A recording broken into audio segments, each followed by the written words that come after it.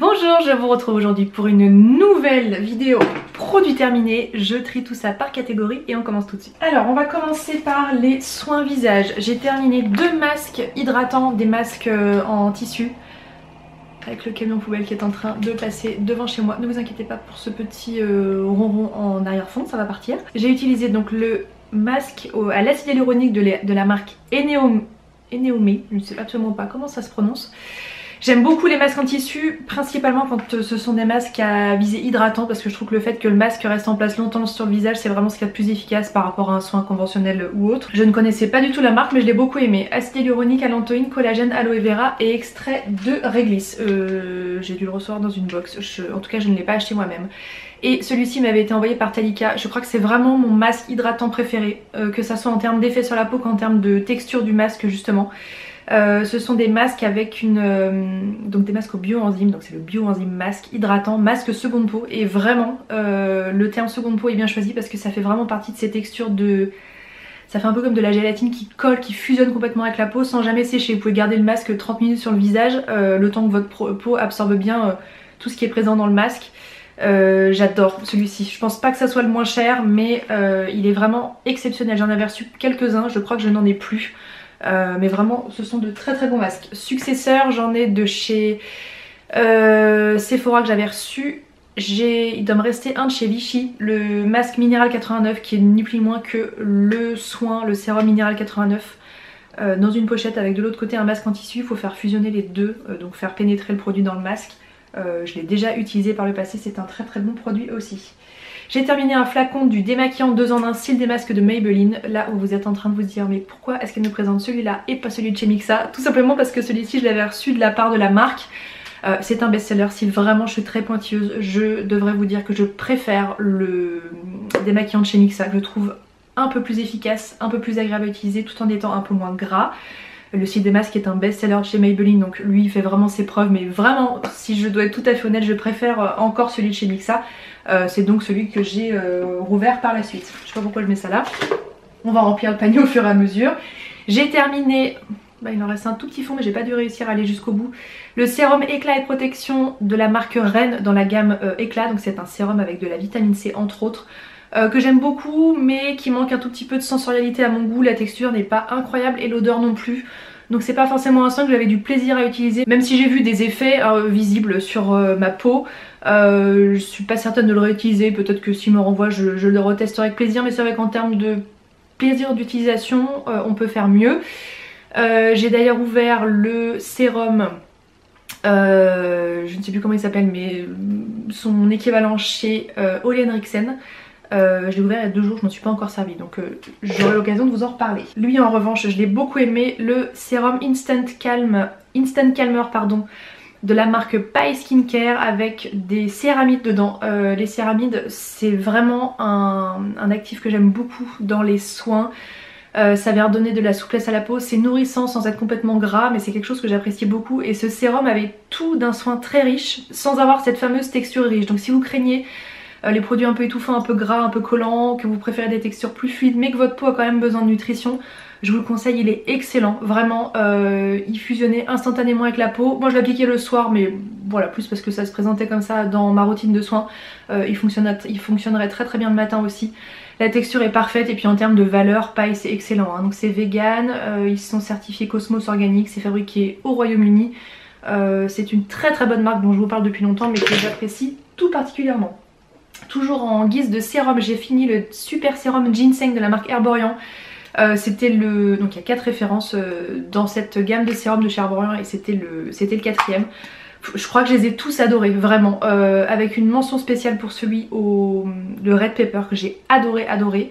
Le Yuzu qui était très bien aussi, le Bambou qui était très hydratant et celui-ci qui s'adressait davantage aux peaux matures en, besoin, en, quête de, nutrition. Donc j'ai emmené en vacances avec moi parce que soleil, sel, plage, chlore, etc. Je me suis dit que ma peau en aurait bien besoin. J'ai bien fait parce que du coup c'était Très très adapté pendant les vacances. Euh, c'est un flacon de 30 ml, j'y allais très généreusement sur les quantités donc je crois qu'il m'a fait... Euh, 3 semaines ou un tout petit peu plus et si vous utilisez des quantités plus raisonnables je pense qu'il peut durer plus d'un mois mais c'est vrai que j'avais été assez généreux sur les quantités j'en mettais un peu dans le décolleté etc euh, très très très bonne gamme de, de sérum euh, je les réutiliserai avec grand plaisir surtout le Red Pepper que j'avais vraiment adoré. J'avais utilisé ce sérum l'été dernier je crois bien. Euh, celui-ci est excellent également Ensuite, toujours en termes de sérum, j'ai terminé une miniature du Advanced Night Repair de chez Estée Lauder. Je vous dis souvent qu'il n'est pas forcément nécessaire de dépenser beaucoup d'argent pour des soins. Je pense toujours euh, ça à ce jour. L'Advanced Night Repair chez Estée Lauder, ça fait partie de ces produits très coûteux mais qui pour moi n'ont aucun équivalent. C'est un sérum qui est incroyable, qui a des vertus cicatrisantes, réparatrices, hydratantes. Euh, c'est vraiment un produit qui est dingue, qui a plein plein plein de brevets, qui s'en vend un toutes les je ne sais combien de secondes dans le monde entier. Donc quand j'ai des petites miniatures comme ça, franchement, j'en profite. Euh, c'est un sérum que j'aime beaucoup, que je, rachète depuis euh, des années. Ma maman l'utilise beaucoup aussi. Euh, donc cette petite miniature m'a, sans aucune surprise, toujours autant plu. D'ailleurs, je n'ai plus de... J'ai plus d'Advanced Repair dans mes tiroirs. En ce moment, j'utilise d'autres choses, mais je sais que j'y reviendrai. Et ensuite, j'ai terminé le... En français, c'est mieux. Le baume de traitement ultra nettoyant Pro Collagen de la marque Elemis. J'avais déjà testé ce produit. Je sais pas s'il m'en reste un petit, j'ai complètement raclé. Euh, c'est un baume démaquillant très épais, un peu collant, que j'avais déjà utilisé par euh, le passé, il y a quelques mois en arrière. C'est la marque qui me l'avait envoyé, alors je l'avais trouvé objectivement très efficace, très agréable à utiliser. Je me souviens vous avoir dit que je préférais les huiles démaquillantes parce que les textures baume c'est pas forcément ce que je préférais. Alors je pense toujours ça. Mais ça c'était la version Summer Bloom avec une petite odeur de fleurs hyper hyper agréable. Je pense que ça n'a rien changé en termes de texture ou d'efficacité. mais en termes de plaisir d'utilisation, pour moi c'était euh, vraiment l'extase. Donc j'ai beaucoup plus profité de ce pot là que de l'ancien. Donc ça me fait un peu revoir mon jugement sur les baumes démaquillants. Celui-ci était très agréable. Euh, je sais pas, il éliminait très bien le maquillage. J'avais beaucoup de plaisir à l'utiliser et euh, c'est hyper économique. Il en faut l'équivalent d'une petite noisette pour tout le visage. Ça, ça se répartit très bien, ça se rince très très bien un très bon produit. Je crois que c'est un best-seller euh, dans la marque. On va continuer avec les soins solaires. Alors je vais passer assez vite parce que je vous en ai déjà beaucoup parlé. Euh, notamment dans... Euh, ça devait être les favoris des mois de mai et juin que je vous mettrai sur l'écran. on est parti en vacances cet été, je ne vous apprends rien, il a fait extrêmement chaud. J'ai utilisé deux fois plus de crème solaire que l'été dernier où on avait une météo catastrophique. Et en plus de ça on est parti euh, quasiment deux semaines en Sicile où il a fait aussi très très chaud et puis moi je suis vraiment une dingue de la protection solaire donc je dois appliquer deux fois plus de crème solaire que la moyenne mais euh, j'ai très très peur des coups de soleil et du cancer de la peau euh, en règle générale. Donc en termes de protection on y allait très fort. Alors les pharmaciens ou les spécialistes de la dermocosmétique conseillent de garder une crème solaire entamée un an. moi en fait les crèmes solaires que j'avais ouvertes l'été dernier, je les ai gardées jusqu'à cet été. Sachant que en dehors de ça, elles sont conservées au frais dans un endroit à l'abri de la lumière euh, le reste de l'année. Et quand je vais à la plage, je mets mes crèmes solaires dans une pochette, euh, comme une pochette euh, isotherme. Vous savez celle qu'on vous donne en pharmacie pour stocker les vaccins notamment. Donc j'en ai une et je conserve mes, mes crèmes là-dedans donc normalement elles sont pas en plein cagnard, en plein soleil à la plage. Voilà, je sais pas si c'est la bonne façon de faire, contentez-vous d'écouter ce que les pros vous disent et pas ce qu'une blogueuse vous dit mais je vous dis ce que moi je fais. Je ne dis pas de prendre euh, conseil sur moi. Donc il y a des crèmes de l'été dernier et des crèmes que j'ai ouvertes cette année. Je fais un peu tout dans le désordre. Le lait solaire, peau allergique au soleil, SPF 50 de chez Mixa. J'avais une collab avec eux l'année dernière. J'ai adoré ces crèmes solaires que j'ai trouvées parfaites en tout point. Pas cher, facile à trouver, ça se trouve en grande distrib. Euh, ça tient bien sur la peau sans être trop collant, ça s'étale bien. Euh, pas de coup de soleil, aucun problème à déplorer. incroyable. Alors, il y a des gens qui sont très à cheval sur la composition des crèmes solaires. Je dis pas que je n'y fais pas attention. Mais euh, moi ce qui m'importe c'est de ne pas avoir de coup de soleil. Donc en gros, euh, j'allais dire peu importe ce qu'il y a dans la crème. Peut-être pas sur ces extrémités là, mais tout ce que je veux c'est ne pas avoir de coup de soleil. Donc voilà, ça va être mon argument euh, numéro 1 dans ce que je vais vous montrer. Le spray enfant très haute protection. Protect Kids SPF 50 de chez Aderma, ça fait des années que j'utilise la marque Aderma, entre autres pour la protection solaire. C'est une marque en laquelle j'ai une grande confiance. Ce spray solaire était incroyable. Les versions pédiatriques, c'est le cas chez Aderma mais dans d'autres marques aussi, très souvent ne contiennent pas de parfum, euh, contrairement aux gammes euh, classiques. Voilà, c'était le cas de celle-ci. J'aime un peu moins le mode de présentation pour une simple et bonne raison, c'est que ce bouchon, on a tendance à le poser sur la serviette et à l'oublier. Et finalement, je préfère un tube, euh, parce qu'il y a quelque chose en moins à enlever. voilà, c'est vraiment pour chipoter parce que c'était quand même très correct. Le spray lacté SPF 30 Caudalie, qui fait partie de ces très très bons hybrides entre un soin qui ressemble pas à une crème solaire et une vraie crème solaire. Sous-entendu, euh, on ne fait pas de compromis côté protection, mais il y a une odeur, il y a une texture qui sont rajoutées, etc. Ça c'est quelque chose que j'utilise pas sur ma fille parce que c'est pas assez tenace, mais ça reste très correct. Euh, qu'est-ce que je peux vous dire de plus? Bronzage lumineux, vous pas forcément remarquer ça avec euh, cette crème par rapport à une autre, mais très agréable à utiliser, je dois le concéder. Je pense que je vous apprends rien, mais la différence de protection entre un SPF 30 et un SPF 50, elle est vraiment minime. Euh, mais je garde quand même moi le SPF 30 pour la fin des vacances, quand ma peau est bien habituée au soleil. et puis cette texture était voilà, en effet un peu moins tenace, un peu moins collante. Donc pour la fin des vacances, c'était mieux. Euh, mon coup de cœur de cette année, la gamme Uriage Barrier Sun, le lait enfant hydratant SPF 50. C'était un petit flacon de 100 ml, donc je l'ai utilisé exclusivement sur ma fille, mais on aurait très bien pu s'en servir aussi. Parfait, parfait en tout point. La texture, la protection, euh, s'étale facilement, ne colle pas. Euh, rien à dire, je vous en ai déjà parlé. Et le dernier soin solaire, j'ai l'impression que je devenais folle mais il m'en restait bien un. Le réflexe solaire SPF 50 de la marque Aven. Euh, ça c'est un produit que j'aime beaucoup parce que c'est hyper pratique. Si votre enfant part en... Euh, pas, en colonie de vacances, en centre aéré, etc. Et que vous avez besoin d'une application ponctuelle de crème, c'est-à-dire un peu sur les bras, un peu sur le visage et que votre enfant est déjà habillé. Ça pour la plage, en deux jours vous avez fini le flacon. Franchement c'est hyper pratique pour un petit sac à dos d'enfant ou si vous faites de la rando, vous avez déjà appliqué de la crème le matin avant de partir et que dans la journée vous voulez en réappliquer, ce sont des petits formats qui sont très pratiques.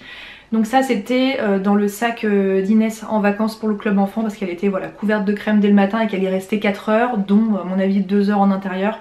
Donc pour euh, réappliquer de la crème ponctuellement c'était très bien. Mais euh, ça reste un petit, euh, un petit truc en plus. Et ensuite j'ai fini deux soins après solaire dont un que j'ai beaucoup aimé, que j'ai découvert cette année. La gelée rafraîchissante After Sun de la marque Clarins qui m'avait été envoyée par la marque. Enrichi en antioxydants, prolonge le bronzage. A nouveau je me prononcerai pas trop sur l'histoire de prolonger le bronzage mais je crois que c'est un peu prouvé. une peau qui a bronzé si elle est correctement hydratée va probablement entretenir un peu le bronzage semaine après semaine je pense pas que Clarins ait vraiment une efficacité de ce côté-là, c'est plus un constat euh, global.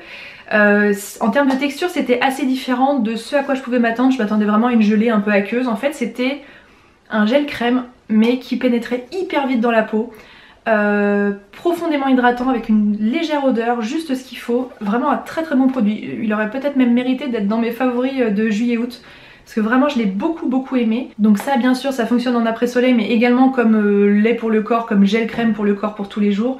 Euh, si vous êtes allergique à tout ce qui est gras collant sur le corps, moi c'est pas trop mon truc, vous pouvez utiliser ça toute l'année avec ou sans exposition solaire, il n'y a aucun souci, il vous arrivera rien de grave, mais vraiment un très très très bon produit.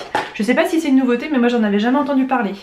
Et ensuite j'ai terminé ce produit que j'avais démarré l'été dernier, le lait après soleil prolongateur de bronzage, coco nourrissant et eau de raisin bio et aloe vera apaisant, rien que ça, de la marque Caudalie. L'odeur est délicieuse. Caudalie pour les odeurs ils sont quand même euh, très très forts. Là on était plus sur une texture de lait conventionnel alors qui en effet ne, colle pas mais la texture était un peu moins intéressante que le Clarins en revanche. Voilà en termes de sensorialité c'était euh, vraiment délicieux, je l'ai quand même utilisé avec, euh, avec beaucoup de plaisir et je l'ai fini à la fin de l'été. Euh, produit terminé, cheveux. Je n'en ai qu'un avec un cheveu collé dessus. C'est le, en français s'il vous plaît, le nettoyant au sulfate 4% pour corps et cheveux de la marque The Ordinary. Je vous ai déjà parlé de ce produit. Un shampoing doux pour les cheveux qui fait juste ce qu'on lui demande, vraiment parfait. Je suis arrivée à la fin du flacon, j'étais triste parce que vraiment je l'ai beaucoup aimé. C'est un flacon de 240 ml. Euh, je rachèterai si je repasse commande sur le site de The Ordinary mais c'est vrai que le fait de ne pas l'avoir dans le commerce à côté de chez moi euh, ne me poussera peut-être pas à passer une commande uniquement pour ce produit mais je l'ai beaucoup beaucoup apprécié. Ça fonctionne sur le corps, sur les cheveux. Voilà, si vous voyagez vous pouvez faire tout votre corps avec ça, c'est hyper pratique. Euh, cette gamme elle est toute nouvelle chez The. J'ai aussi l'après-shampoing que j'ai pas encore testé qui sera mon, prochain test. Côté maquillage, j'ai fini. On arrive même à voir que les parois ont été raclées. L'anti-cerne zéro défaut tenue extrême de chez Estée Lauder. Je vous ai parlé dans euh, ma vidéo favori juillet août justement que je vous mets sur l'écran du remplaçant de ce produit. Alors moi aussi j'ai du mal à y croire mais j'ai trouvé un remplaçant euh, encore mieux et moins cher. Euh, il s'agit donc de l'anti-cerne Dior Backstage donc je vous en parle dans cette fameuse vidéo. Vous risquez quand même de revoir le Estée Lauder dans mes tiroirs parce qu'il doit me rester deux tubes dans des teintes d'été ou des teintes un peu de mi-saison donc euh, je vais les terminer progressivement donc vous le reverrez.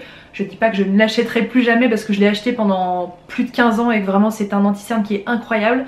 Mais voilà, il a fini par être détrôné par ce, cet anti-cerne de chez Dior. Je suis la première à en être complètement surprise. Ça c'était la teinte 2C qui est vraiment la teinte que je porte... Euh, que je portais 90% euh, du temps. Et ensuite j'ai fini une poudre de chez Too Faced que j'aime énormément mais je crois qu'elle a été arrêtée par la marque, ça devait être une édition limitée. Euh, la poudre fixante, donc poudre compacte It's Bananas, donc de la marque Too Faced, qui avait des petites, des petites bananes incrustées dans le dessin qui sentait très très fort la banane, vraiment les bonbons à la banane, une odeur que je trouve délicieuse, moi j'adore tout ce qui est parfumé à la banane, les produits pour le corps, les produits pour les cheveux, j'adore même les yaourts à la banane. On en trouve hyper rarement dans les supermarchés mais c'est vraiment quelque chose que j'aime beaucoup. Bref, l'odeur ne restait pas sur le visage mais c'était une poudre compacte hyper efficace, matifiante, elle venait prolonger vraiment la durée du maquillage sur le visage, euh, elle était euh, pas imperceptible mais quasiment, c'était vraiment une très très bonne poudre. Euh, donc voilà, si je vous mets un lien sur la vidéo, c'est que j'ai trouvé quelque chose. Si je n'ai pas trouvé de lien, je ne pourrais pas vous en mettre. Mais euh, c'était un très très bon produit. Ensuite, en parfum, j'ai terminé l'eau Cézanne que j'avais acheté dans la boutique Cézanne à Paris. Euh, boutique Cézanne qui est... Je ne vais jamais réussir à retrouver le, le nom de la rue, mais bref. c'est une eau de toilette, donc eau de toilette Oui, développée par Cézanne qui existe dans un flacon de 200 ml. Moi ça fait longtemps que je voulais l'acheter mais je trouvais que 200 ml c'était quand même beaucoup, sachant que j'ai déjà beaucoup de parfums terminés. Et quand je me suis rendue dans la boutique euh, lors d'un séjour parisien, euh, peut-être pendant la première moitié de l'année 2022, j'ai découvert ce flacon de 100 ml. Alors le flacon est magnifique, dans un verre un peu, euh, un peu strié avec un gros bouchon bordeaux. C'est une odeur délicieuse. Ça sent la fleur d'oranger avec une, une envolée très très fraîche, très cologne. C'est une odeur qui est très réussie. Malheureusement la tenue sur moi est pas incroyable. Bon Cézanne c'est pas une maison de parfumerie donc il n'y a rien d'étonnant. Je sais pas si je la rachèterai mais en tout cas j'ai eu beaucoup de plaisir à la porter pendant tout le moment où je l'ai portée et euh, je m'en suis pas lassée. C'est juste qu'en termes de tenue c'était pas l'extase et puis voilà c'est une odeur qui est délicieuse mais qui est pas non plus euh, révolutionnaire on va dire que Cézanne n'a rien inventé de ce côté là. Magie du montage me revoici 10 minutes après pour vous présenter les derniers produits terminés. J'essaye... Euh, d'attendre que le camion qui est dans ma rue, je n'arrive pas à voir euh, ce qu'ils sont en train de faire à cause des arbres, mais euh, il doit y avoir une histoire de, fuite de quelque chose. Enfin, j'ai l'impression que toute la ville d'Annecy est arrivée dans ma rue. Donc je vais finir avec les produits terminés en termes de compléments alimentaires. J'ai fini deux flacons du complément On veut un bronzage sublime de la marque Atelier Nubio. Euh, qui est un complément qui vise à aider la peau à se préparer au soleil. Ça n'est absolument pas un complément qui vient remplacer la crème solaire. moi qui suis sujette à la lucide, c'est-à-dire à l'allergie au soleil, principalement sur le décolleté et le haut des bras. Euh, c'est un réflexe du coup que j'ai adopté depuis plusieurs années, depuis quelques années par le biais de la marque Atelier Nubio, mais j'ai testé d'autres euh, marques par le passé. Je suis très contente de ceux de la marque Atelier Nubio, me correspondent euh, parfaitement. Deux gélules le matin, à prendre si possible avant, pendant et après l'exposition. Donc moi clairement j'en ai gobé à peu près tout l'été. Là je viens de finir ma cure. Je me demande s'il me restait pas un flacon mais je vais le garder pour l'été prochain parce que là je vais plus me mettre au soleil tous les jours euh, pendant les prochaines semaines. Donc je crois que je vais garder un flacon pour l'année prochaine. Euh, hyper hyper efficace. Je vous invite à tester si vous n'y croyez pas parce que franchement ça marche hyper bien. Euh, moi j'ai globalement une peau qui se défend mieux et y compris cet été vis-à-vis de Quentin qui pourtant a une peau qui est de base beaucoup moins réactive que la mienne et ben lui s'est retrouvé avec parfois des rougeurs sur les bras ou sur le haut du dos et moi je n'ai rien eu de tout ça sur l'été donc trop contente. Et on va finir par le dernier complément alimentaire que j'ai terminé il y a deux jours, les Shots Detox 100% chlorelle de la marque Atelier Nubio. La chlorelle c'est une algue riche en vitamine B12, la vitamine B12 étant l'une des 8 vitamines B, comme son nom ne l'indique pas, euh, qui est une vitamine qui est riche en fer, qui peut être adaptée si vous avez des soucis d'anémie, c'est mon cas. Euh, ou si par exemple vous avez un régime végétarien et que vous avez du mal par exemple à faire rentrer le, fer euh, dans votre alimentation. Euh, ces shots, on les boit soit euh, purs à jeun le matin, ce que j'ai fait. Je vais vous parler du goût un petit peu plus tard parce que c'était pas, pas incroyable. Euh, soit dilués dans une cure de jus. Atelier Nubio en propose notamment, ou alors dilué dans un verre d'eau. Voilà, si vous avez un peu de mal avec l'idée du, shot. Alors, la chlorelle étant une algue, eh ben, ça a le goût d'algue. Voilà, c'est pas bon du tout, on va pas se mentir. Après, c'est 30 ml. Donc c'est littéralement une gorgée, une fois que c'est bu on passe à autre chose, c'est à prendre, donc je ne sais plus si je vous l'ai dit, à jeun le matin, 5 shots, 5 jours. Euh, c'est encore un peu tôt pour vous donner euh, un avis euh, ferme et définitif à son sujet parce que j'ai fini la cure il y a deux jours au moment où je filme. mais je pense avoir déjà ressenti un petit regain d'énergie Euh, et puis vu que je manque chroniquement de fer, alors pas euh, d'une façon démesurée parce que j'ai pas besoin voilà, de supplémentation. Supplémentation je pense que si je pourrais en avoir besoin mais j'ai pas besoin d'un traitement de fond, j'ai pas besoin d'avoir une perfusion ou ce genre de choses. Mais on va dire que le manque de fer euh, en ce qui me concerne c'est quand même un truc un peu, un peu chronique. et bah franchement ça m'a pas fait de mal. Alors voilà c'est pas une partie de plaisir, c'est pas bon, ça faut en être conscient. je peux même pas je pense trouver quelqu'un qui dira oh ça va c'est pas mauvais. Non c'est vraiment dégueu, on va pas se le cacher. Euh, c'est comme boire la tasse mais version, euh, version bien concentrée, vous savez quand vous êtes dans les algues là dans la mer. Donc c'est quand même euh, assez raide, ça vous fait vraiment faire une grimace au moment où vous l'avalez, hein. c'est vraiment très particulier. Mais écoutez si ça a un effet, moi je suis, je suis pour. Voilà, c'est la première fois que je testais, j'ai découvert cette cure dans la boutique Atelier Nubio dans laquelle je me suis rendue au début de l'année 2022 et euh, la personne qui m'a reçu m'a dit est-ce qu'il y a quelque chose que tu veux tester que, que t'as pas encore testé? Et je suis tombée sur cette cure j'ai dit bah tiens ça je connais pas donc euh, ma curiosité me donne euh, envie de tester. voilà, Atelier Nubio ça fait partie de ces marques de compléments alimentaires que je vous recommande depuis des années, à laquelle je reste fidèle parce que j'aime tout ce qu'ils font. vous avez donc une boîte en carton, le flacon est en verre recyclable, le bouchon en plastique recyclable aussi. Donc ça aussi je trouve que c'est une super initiative. Voilà pour mes produits terminés. J'espère que la vidéo, si j'arrive à fermer ça, vous a plu. Je vous embrasse et je vous dis à très bientôt.